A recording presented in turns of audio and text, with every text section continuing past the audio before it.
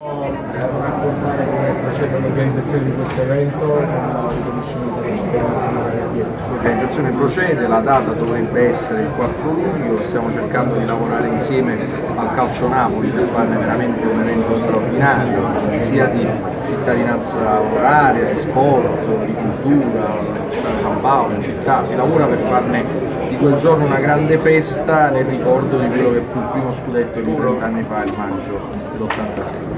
Ecco, il sindaco, parliamo di strutture, il San Paolo, che qualcosa sarà fatto nei prossimi mesi, e poi questa cittadella dello sport che, che Laurentis ha intenzione di realizzare a Bagnoli. Sa qualcosa in più?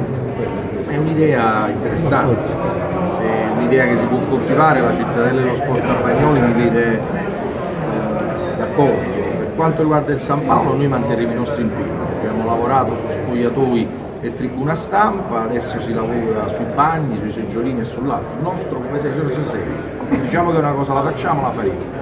Non siamo ovviamente in grado di avere poteri taumaturgici da un punto di vista come dire, materiale ed economico, ma con gli impegni che ci siamo presi manterremo. Se poi a questi impegni si aggiunge anche un impegno della società sul piano economico-finanziario si può andare molto più rapidi, però questo non dipende da noi.